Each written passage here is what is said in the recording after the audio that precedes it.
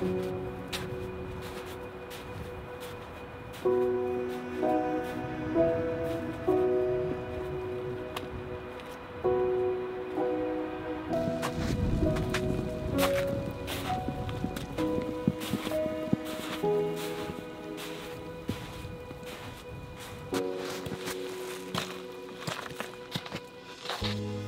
morning out on the mountain, one of my favorite places to be.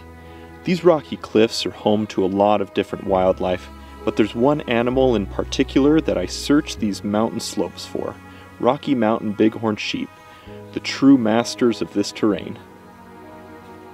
But for me, spending time with these bighorns is about more than just photography. Years ago, when I was just starting into wildlife photography, bighorn sheep were the first species that I made specific photography goals for. I was determined to photograph these regal animals, and so I set out to do just that. It was a slow start. Months went by without even a glimpse. But I had my mind set and I wouldn't stop until I got my pictures. One winter morning, I set out with bighorns in mind. Something just felt different that day. I trudged up the mountain through snow, ice, and rocks, and hours later, found myself on the edge of a rocky cliff in the middle of a blizzard. Visibility was low, but in the midst of that storm, I saw a far off bighorn ram disappear in some ice covered rocks. No pictures resulted from that sighting, but the excitement grew within me.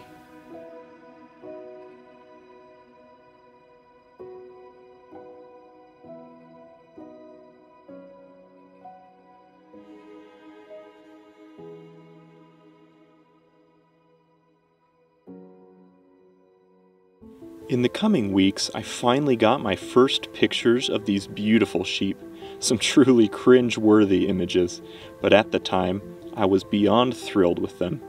As time went on, I continued to seek out these beautiful animals. More and more encounters followed, and my pictures of these bighorns and my photography in general began to improve. Periodically, I evaluated my goals revolving around these sheep and updated them as needed.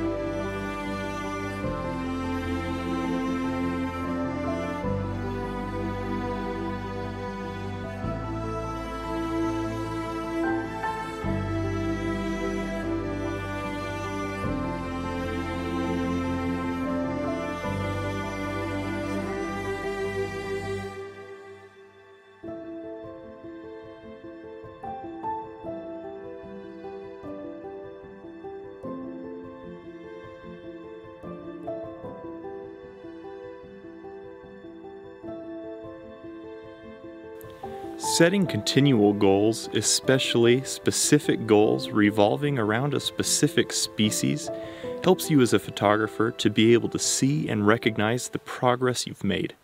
So, next time you feel you're not improving in your wildlife photography, choose a species, set some goals, make a plan to accomplish them, and get to work.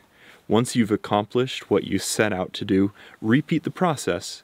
Do this over and over again with time, you'll be able to see the improvement in the photos that you take, and you'll even have examples to compare side by side so you can visually see how far you've come.